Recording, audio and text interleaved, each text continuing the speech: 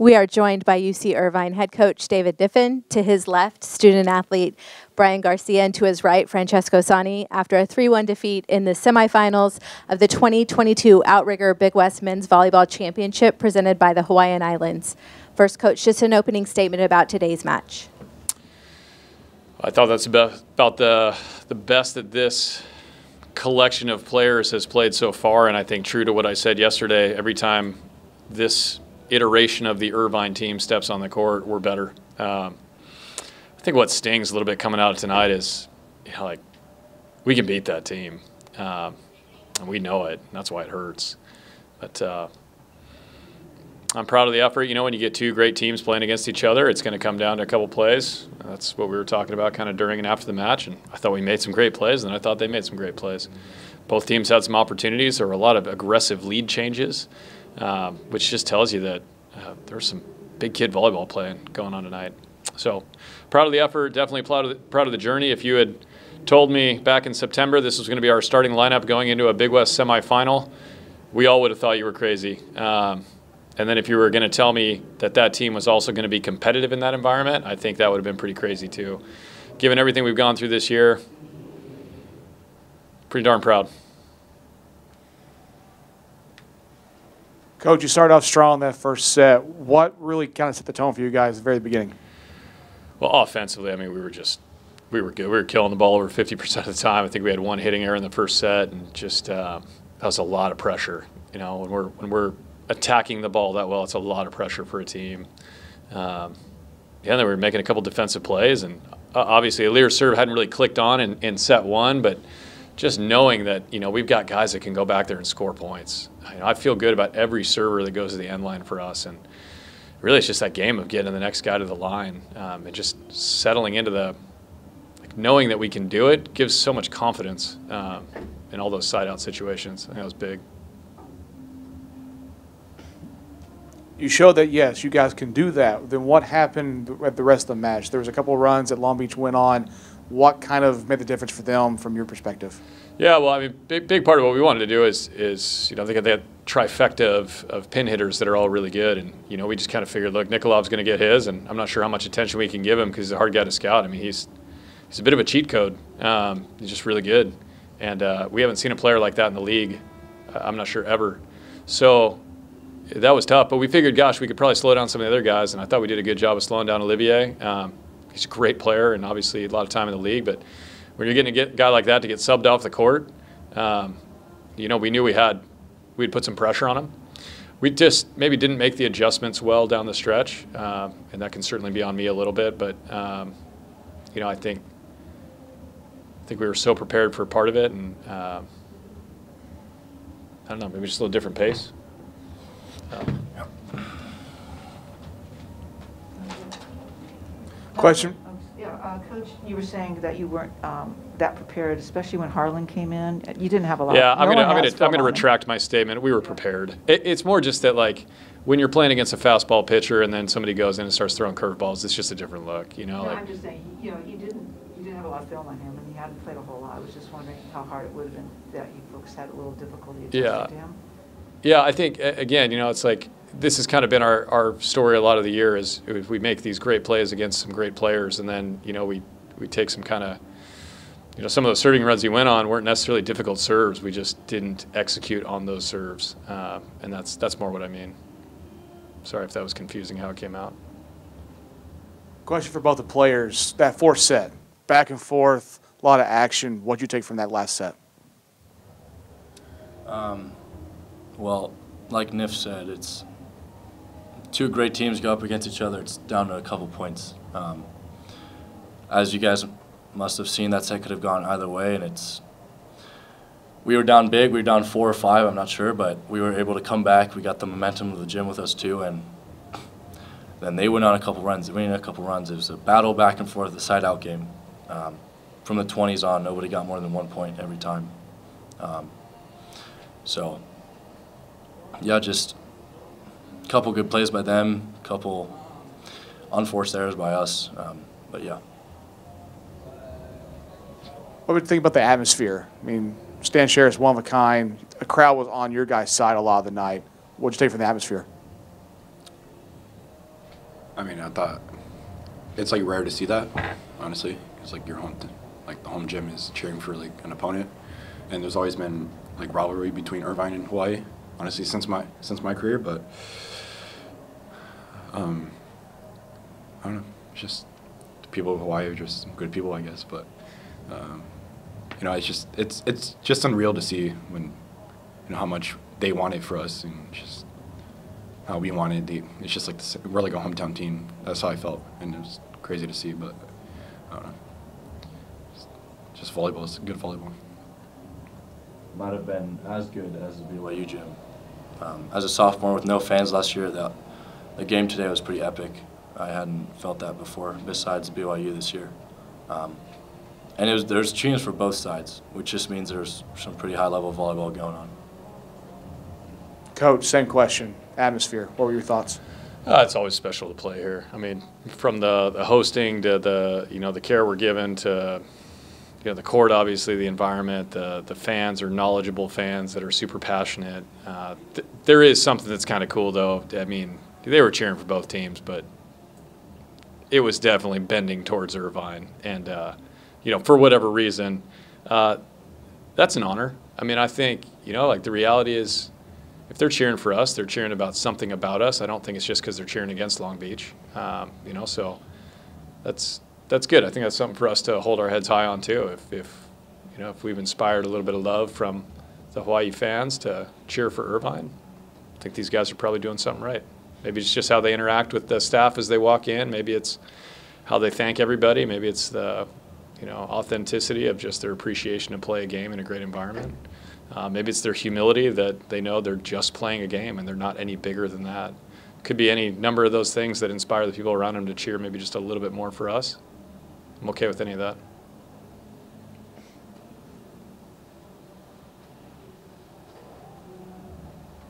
Francesco, you finished these two games with 40 kills on the weekend. Uh, just kind of talk about this weekend and how you can use it to propel yourself toward next year. Well, first of all, I couldn't do any of that without that guy over there. Um, every set that I was hitting was pretty much perfect. Um, it was it hit itself pretty much. Um, I started the first half of the year at outside, and now I've played the last half of the year at opposite. So couldn't couldn't think of a more um, of a better way to you know gain volleyball experience taken into my next two years here. Um, now I know how to hit on the left, and I know how to hit on the right. Um, now I just got to figure out why I'm a lot better at hitting on the right than on left. So, yeah. Brian, as a senior, uh, just kind of take us through your thoughts tonight, and and how this is in, how this season has gone for you guys. Um, I mean, I haven't.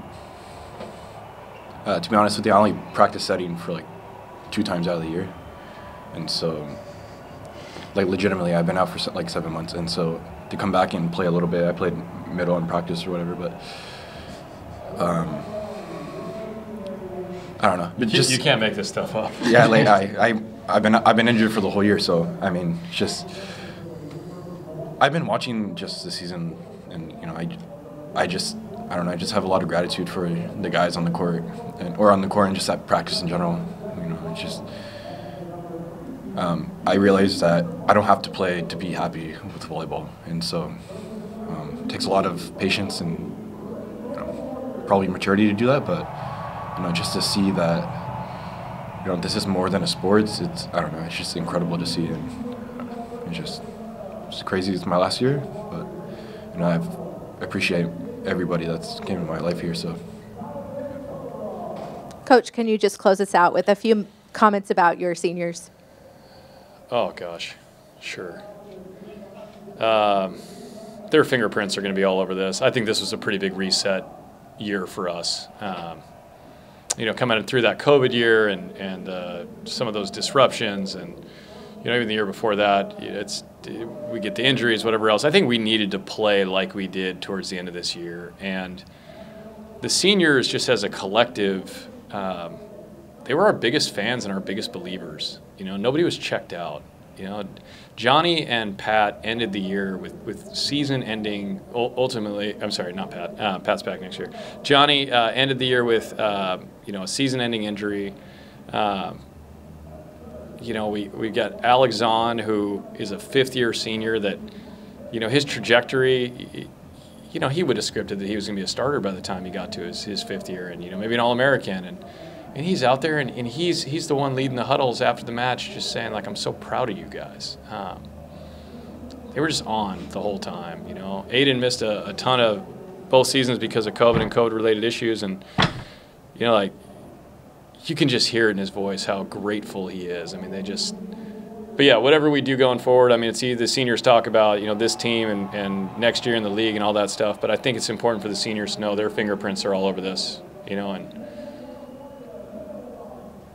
yeah, proud of him. Thanks so much. We are joined by UC Irvine head coach David Kniffin. To his left, student athlete Brian Garcia, and to his right, Francesco Sani, after a 3 1 defeat in the semifinals of the 2022 Outrigger Big West Men's Volleyball Championship presented by the Hawaiian Islands. First, coach, just an opening statement about today's match. I thought that's about, the, the best that this collection of players has played so far, and I think true to what I said yesterday, every time this iteration of the Irvine team steps on the court, we're better. Um, I think what stings a little bit coming out of tonight is, you know, like, we can beat that team, um, and we know it. that's why it hurts. But uh, I'm proud of the effort. You know, when you get two great teams playing against each other, it's going to come down to a couple plays. That's what we were talking about kind of during and after the match. And I thought we made some great plays, and I thought they made some great plays. Both teams had some opportunities. There were a lot of aggressive lead changes, um, which just tells you that uh, there's some big kid volleyball playing going on tonight. So proud of the effort. Definitely proud of the, proud of the journey. If you had told me back in September this was going to be our starting lineup going into a Big West semifinal, we all would have thought you were crazy. Um, and then if you were going to tell me that that team was also going to be competitive in that environment, I think that would have been pretty crazy too. Given everything we've gone through this year,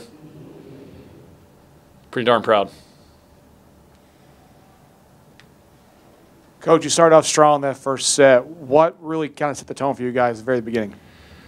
Well, offensively, I mean, we were just we were good. We were killing the ball over 50% of the time. I think we had one hitting error in the first set, and just uh, that was a lot of pressure. You know, when we're when we're attacking the ball that well. It's a lot of pressure for a team.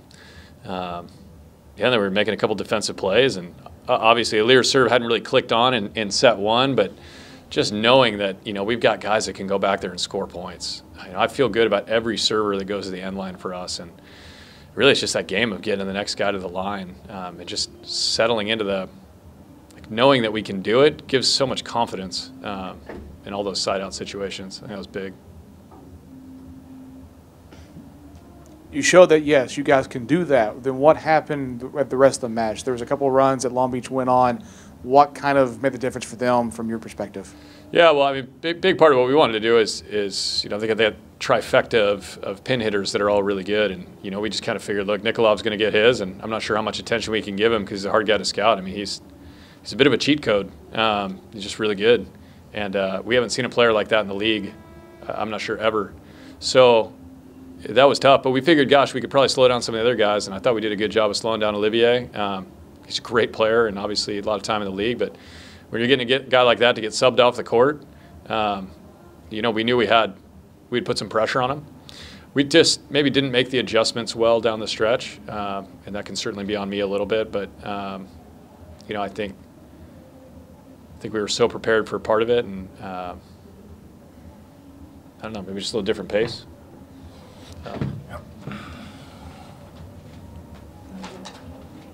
Question? Yeah, uh, Coach, you were saying that you weren't um, that prepared, especially when Harlan came in. You didn't have a lot. Yeah, I'm no gonna, I'm gonna, I'm gonna retract my statement. We were prepared. It, it's more just that like when you're playing against a fastball pitcher and then somebody goes in and starts throwing curveballs, it's just a different look, you know. No, like, I'm just saying, you know, you didn't, you didn't have a lot of film on him, and he hadn't played a whole lot. I was just wondering how hard it would have been that you folks had a little difficulty adjusting yeah. to him.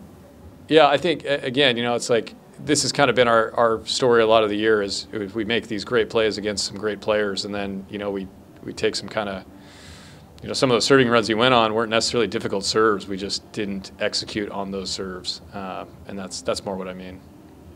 Sorry if that was confusing how it came out. Question for both the players. That fourth set, back and forth, a lot of action. What'd you take from that last set? Um, well, like Niff said, it's two great teams go up against each other. It's down to a couple points. Um, as you guys must have seen, that set could have gone either way, and it's we were down big. We were down four or five. I'm not sure, but we were able to come back. We got the momentum of the gym with us too, and then they went on a couple runs. They went on a couple runs. It was a battle back and forth, the side out game. Um, from the 20s on, nobody got more than one point every time. Um, so, yeah, just couple good plays by them, a couple unforced errors by us. Um, but yeah. What would you think about the atmosphere? I mean, Stan Sheriff's one of a kind. A crowd was on your guys' side a lot of the night. What'd you take from the atmosphere? I mean, I thought it's like rare to see that, honestly, It's like your home, like the home gym is cheering for like an opponent, and there's always been like rivalry between Irvine and Hawaii, honestly, since my since my career. But um, I don't know, just the people of Hawaii are just good people, I guess. But um, you know, it's just it's it's just unreal to see when you know how much they want it for us, and just how we wanted. The, it's just like the, we're like a hometown team. That's how I felt, and it was crazy to see. But I don't know, just, just volleyball is good volleyball. Might have been as good as the BYU gym. Um, as a sophomore with no fans last year, that the game today was pretty epic. I hadn't felt that before. Besides BYU this year. Um, and was, there's cheers for both sides, which just means there's some pretty high level volleyball going on. Coach, same question. Atmosphere. What were your thoughts? Uh, it's always special to play here. I mean, from the, the hosting to the you know the care we're given to you know the court, obviously the environment, the the fans are knowledgeable fans that are super passionate. Uh, th- there is something that's kind of cool though. I mean, they were cheering for both teams, but it was definitely bending towards Irvine, and uh, you know for whatever reason, uh, that's an honor. I mean, I think you know like the reality is if they're cheering for us, they're cheering about something about us. I don't think it's just because they're cheering against Long Beach. Um, you know, so that's that's good. I think that's something for us to hold our heads high on too. If, if you know if we've inspired a little bit of love from the Hawaii fans to cheer for Irvine, I think these guys are probably doing something right. Maybe it's just how they interact with the staff as they walk in. Maybe it's how they thank everybody. Maybe it's the you know authenticity of just their appreciation to play a game in a great environment. Uh, maybe it's their humility that they know they're just playing a game and they're not any bigger than that. Could be any number of those things that inspire the people around them to cheer maybe just a little bit more for us. I'm okay with any of that.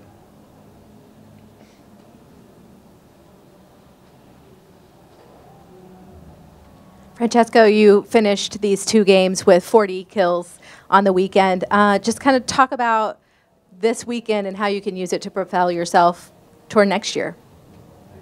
Well, first of all, I couldn't do any of that without that guy over there. Um, every set that I was hitting was pretty much perfect. Um, it was it hit itself pretty much. Um,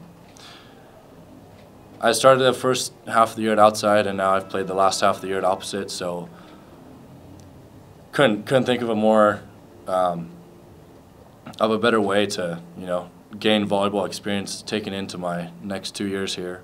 Um, now I know how to hit on the left, and I know how to hit on the right. Um, now I just got to figure out why I'm a lot better at hitting on the right than on left. So, yeah. Brian, as a senior, uh, just kind of take us through your thoughts tonight, and and how this is in, how the season has gone for you guys. Um, I mean, I haven't.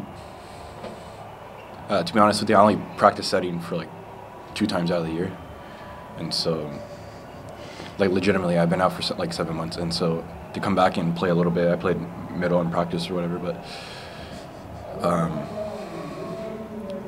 I don't know. But just you can't make this stuff up. yeah, like I, I, I've been I've been injured for the whole year, so I mean, just I've been watching just the season, and you know, I, I just I don't know, I just have a lot of gratitude for the guys on the court, and, or on the court, and just at practice in general.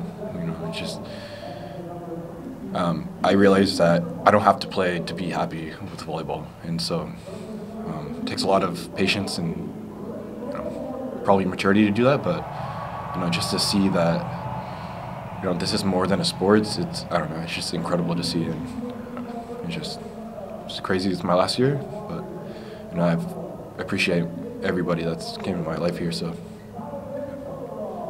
Coach, can you just close us out with a few comments about your seniors? Oh gosh, sure.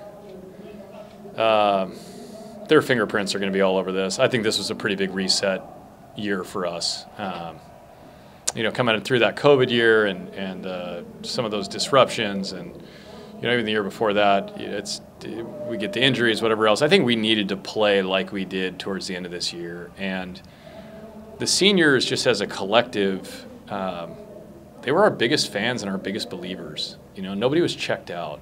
You know, Johnny and Pat ended the year with, with season ending. Ultimately, I'm sorry, not Pat. Uh, Pat's back next year. Johnny uh, ended the year with uh, you know a season ending injury. Um, you know, we we got Alex Zahn, who is a fifth year senior. That you know his trajectory. You know, he would have scripted that he was going to be a starter by the time he got to his, his fifth year, and you know maybe an All American and and he's out there and, and he's he's the one leading the huddles after the match just saying like i'm so proud of you guys um, they were just on the whole time you know aiden missed a, a ton of both seasons because of covid and covid related issues and you know like you can just hear it in his voice how grateful he is i mean they just but yeah whatever we do going forward i mean it's the seniors talk about you know this team and, and next year in the league and all that stuff but i think it's important for the seniors to know their fingerprints are all over this you know and yeah, proud of him. Thanks so much.